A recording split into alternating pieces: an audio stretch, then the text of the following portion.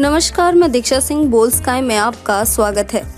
हिंदी पंचांग के अनुसार ज्येष्ठ माह में शुक्ल पक्ष की एकादशी को निर्जला एकादशी मनाई जाती है। इस बार निर्जला एकादशी 2 जून को है। इस दिन साधक भगवान श्री हरि विष्णु की पूजा एवं व्रत उपासना करते हैं। इस एकादशी का अति विशेष महत्व है। इस व्रत के पुण्य प्रताप से व्रती की सभी मनोकामनाएँ पूर्ण होती हैं।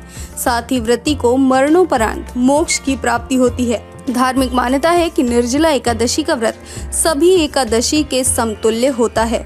बात करें निर्जला एकादशी पूजन विधि की, जैसा कि हम सब जानते हैं कि इस बार लॉकडाउन के चलते मंदिर में जाकर ईश्वर की पूजा करना संभव नहीं है। ऐसे में हमें घर पर ही हर तरह का पूजन करना है। आज हम आपको बताएँगे कि लॉकडाउन के चलते आप निर्जला एकादशी की पूजा घर पर कैसे करें। व्रती को गंगा दशहरा के दिन से ही तामसी भोजन का त्याग कर देना चाहिए। साथ ही लहसुन और प्याज मुक्त भोजन ग्रहण करें। रात में भूमि पर शयन करें। अगले दिन ब्रह्म मुहूर्त में उठकर सबसे पहले भगवान श्री हरि विष्णु जी का स्मरण करें। इसके पश्चात नित्य कर्मों से निवृत्त होकर गंगा जल युक्त पानी से स्नान ध्यान करें। अब आचमन कर व्रत संकल्प लें। फिर पीला वस्त्र पहने, इसके बाद सूर्य देव को अर्घ्य दें। तदोपरांत भगवान श्री हरि विष्णु जी की पूजा, पीले पुष्प, फल, अक्षत, दूरवा, चंदन आदि से करें। इसके लिए सबसे पहले शोरणोपचार करें। इस समय ओम नमो भगवते वासुदेवाय मंत्र का जाप करें। अब निर्जला एकादशी की कथा का पाठ करें।